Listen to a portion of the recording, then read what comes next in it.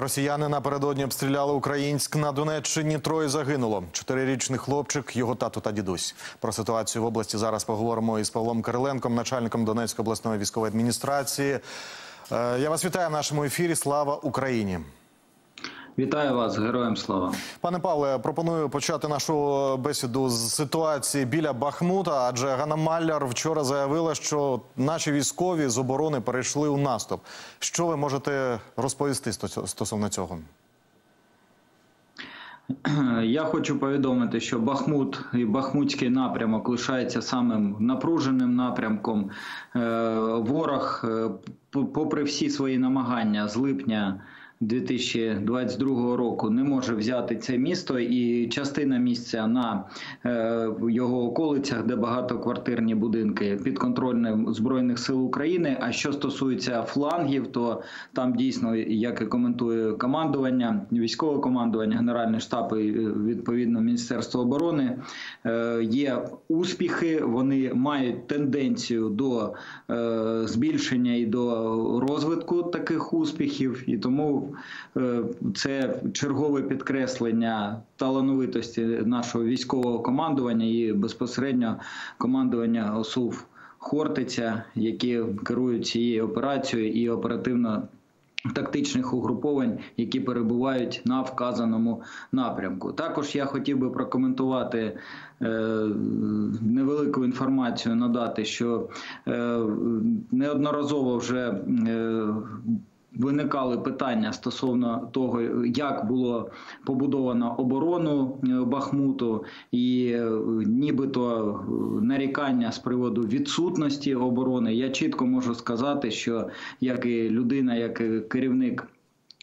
Безпосередньо в своїй частині відповідальний за певну лінію оборони цього міста, що місто фортеця Бахмут, ту назву, яку вона отримала, не була б таким містом без таких укріплень. Звичайно, в першу чергу це е, мужність наших захисників і талановитість командирів, але та багатоешелонована оборона, яка була побудована від протитанкових рвів, багато десятків кілометрів, які охоплювали місто, е, залізобетонні споруди.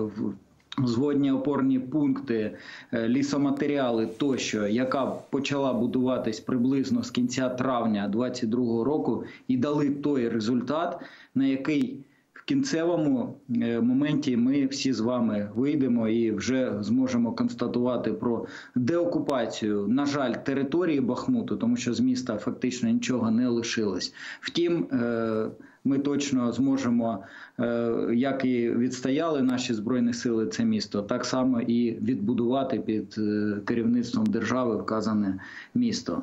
Тому місто тримається, успіхи є, оборона дає свої результати, і так само і оборона навіть на критичні моменти передбачала е, інші лінії оборони і оборони інших міст, які наближені до Бахмуту. Це місто часів яр. Так само наші бійці тримають і там позиції. Пане Павле, а розкажіть, будь ласка, яка загалом оперативна ситуація в Донецькій області? Чи продовжує ворог обстрілювати цивільне населення? Е, Обстріли лінії фронту продовжуються на постійній основі. Е, На жаль, вчора, як ви вже і повідомили, місто Українськ було обстріляно з- за результатами цього звірячого обстрілу з артилерії 152-го калі- калібру. Загинула одна дитина і два дорослих. І отримали поранення 5 осіб, із них 4 дитини. Е, Обстріл вівся виключно зі ствольної артилерії по житловому сектору, і е, там жодних позицій, взагалі е, військових формувань і е, позицій військових укріплень е, не е, має на цьому місці. Це навіть відносно віддалена Селидівська громада від лінії фронту, якщо можна так вважати. Сьогодні було здійснено нанесено авіаудари по цивільній інфраструктурі Турецькій е, міській військовій адміністрації, по Кураховому Наносились удари по Очеретинській військовій адміністрації, і вся лінія фронту відповідно Бахмут, Великоновосілка, Авдіївська війська е, військова адміністрація під постійними обстрілами перебувають. Е, Сьогодні, на щастя, без жертв протягом е, з ранку і до вечора дві людини зазнали поранень. В цілому ситуація є контрольована, але по місту Українську буде прийнято додаткове рішення. Я не виключаю, що е, буде застосовано евакуацію дітей в першу чергу, у тому числі промисловий спосіб, тому що ми бачимо, як поводить себе окупант, не маючи успіхів на фронту на фронті, і е, вже застосовує.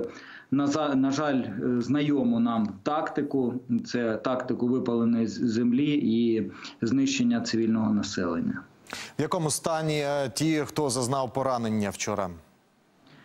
Вся необхідна допомога пораненим надається, і е, їх стан е, є стабільним, стабільним і за необхідності будуть направлені до медичних закладів за межі області. Наразі всі заклади, які е, необхідні першочергову, необхідну першочергову допомогу е, надано було е, відразу після евакуації поранених з міста обстрілу. Пане Павло, ви вже е, говорили про евакуацію. Це дуже важливе, особливо в таких моментах рішення і питання. І е, взагалі, скільки за минулий місяць от вдалося евакуювати людей? Скільки зараз, от е, в таких гарячих точках, залишається дітей, і чи вдається їх вивозити?